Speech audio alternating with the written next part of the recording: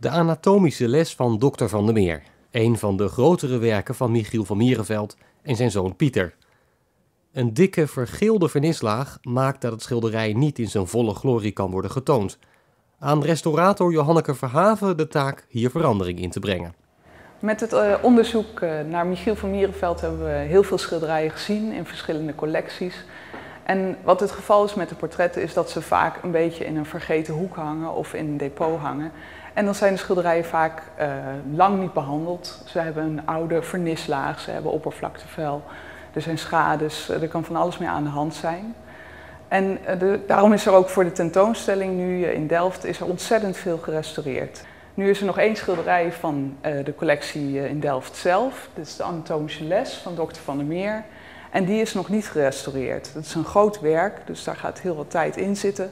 En nu was het een mooi idee om dat tijdens de tentoonstelling nog te restaureren. Restauratie begint altijd met vooronderzoek. Bij aanvang van de restauratie is het belangrijk om de huidige staat van het schilderij goed te documenteren. Deels door middel van fotografie. En dan zijn juist uh, de kleine details in de schilderijen ook belangrijk. Bijvoorbeeld hier het opschrift van de schilders.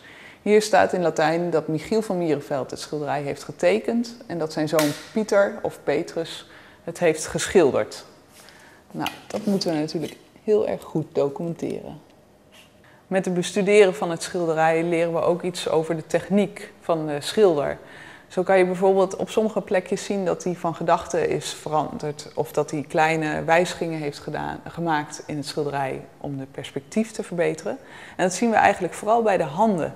Als je bijvoorbeeld hier goed kijkt van dichtbij, zie je hier nog een duim doorschemeren, links van de duim waar die nu zit. Ook het bestuderen van de vernislaag met UV-licht en de bestudering van de zij- en achterkant van het doek geven de restaurateur tijdens het vooronderzoek de nodige informatie. Nu kijken we naar de achterkant van het schilderij, maar we kijken niet naar de oorspronkelijke materialen van het schilderij, want er is al veel gebeurd met het doek.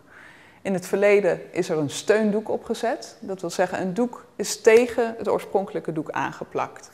Dit is dus het steundoek. En we kunnen hier aan de achterkant zien waarmee het op het schilderij is geplakt, namelijk met was en hars. En dat zie je hier. Hier is de washars wat dikker je ziet het zitten en als je dichtbij komt, ruik je het zelfs. Dit is natuurlijk maar een kleine greep uit het onderzoek. Het complete vooronderzoek naar dit schilderij is intussen bijna afgerond.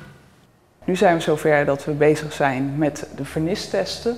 Tijdens het vooronderzoek is ontdekt dat het vernis op dit schilderij uit twee lagen bestaat. Het bovenste laag is uiteraard het jongste vernis en daaronder bevindt zich een ouder vernis.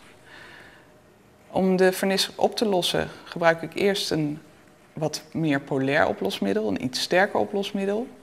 Daarmee zwel ik de vernis op. En je ziet al dat hij op mijn watje komt. Hij is ontzettend geel, bijna oranje-bruin van kleur. De komende tijd zal het volledige doek worden schoongemaakt. Daarna zal een nieuw vernis moeten worden aangebracht en moet er worden geretoucheerd, want er zijn natuurlijk kleine schades in de loop van de jaren ontstaan. En aan het einde van de tentoonstelling is dit schilderij ook weer helemaal uh, in zijn meest oorspronkelijke staat te bewonderen.